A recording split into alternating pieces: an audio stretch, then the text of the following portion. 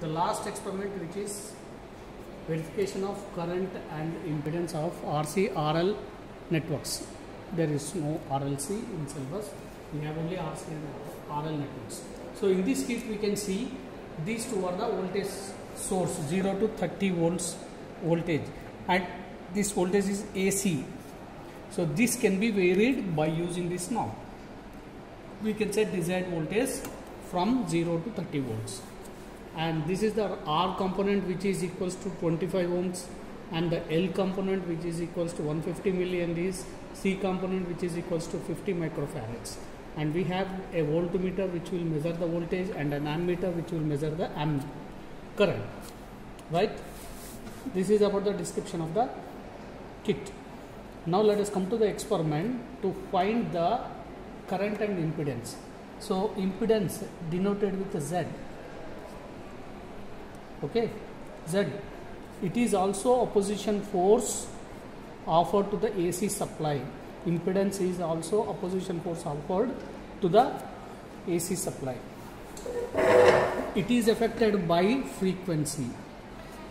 So in DC there is no frequency. Frequency is zero. But in AC frequency is there. So this is the due to frequency one more uh, opposition force will be we call it as reactance the reactance caused by inductor is called inductive reactance denoted with L and measured in henries and the reactance caused by capacitor is called capacitive reactance and denoted with x suffix of L and x suffix of C. L is the inductor and re inductive reactance is denoted with XL and C is the capacitance. Inductive capacitance is denoted with XC and measured in farads. We will take a simple circuit.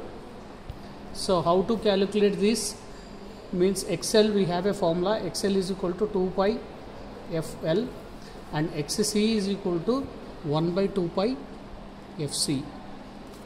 So L is the value of inductor, C is the value of capacitance. After getting XL and XC value, the formula for Z equals to R square plus XL square in, in RC, RL network. And in RC network, Z equals to R square plus XC whole square in RC network.